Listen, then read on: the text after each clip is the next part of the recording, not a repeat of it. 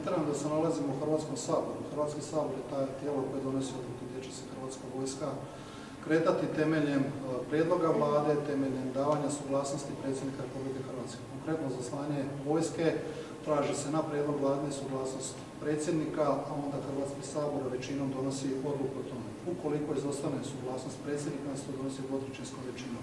Tako da sam procedure vrlo jasne, ali isto tako kao što sam jasio naše članstvo u NATO-u, sav onaj ugled koji uživamo u svim ovim našim vježbama, misijama, operacijama koje su sada imali, pa i samo pomoći kod opremanja modernizacije i svih onih aktivnosti koje smo doživjeli kao član, NATO članica, prema tome imamo i nekakve obaveze. Znači li to, znači li to kontingent jedan vraćan, tamo su dva časnika u Poljskoj, da ćemo, bilo je u planu ako se ne varam 100, 100 vojnika poslati u drugi kontingent, znači li da ćemo poslati 100 vojnika u Poljsku? Dakle, mi u ovom trenutku imamo četiri e, časnika u činu. E, U Poljskoj 80 ljudi je vraćeno u onom momentu kada je predsjednik vrhovni zapovjednik rekao da će povući, oni su već bili u Republici Hrvatskoj, kako to nije znao.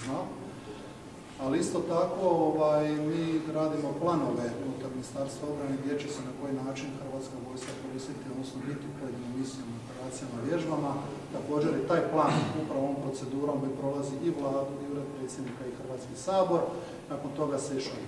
Naš je plan da u 2023. godini pošaljemo jednu bitnicu e, Panzerhaubica u Poljsku. Moram iskazati da upravo ovaj osmi kontingent iz onog posjeta koji kad sam bio u Poljskoj iskazano su uistinu sve zahvale i časti prema hrvatskim vojnikinjama vojnicima, prema zapovjednicima koji su organizirali e, same aktivnosti unutar e, NATO vježbe. Isto tako su ocijenjeni vrlo visokim ocjenama, predani su radu, što ste kasnije vidjeli one posljednjih dana i nekolicina njih je primila nagrade upravo na vježbi gdje su pokazali sve najbolje i fizičku, fizičku spremnost.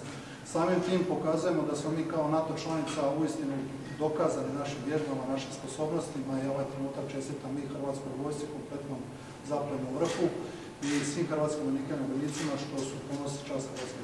Evo samo pitanje oko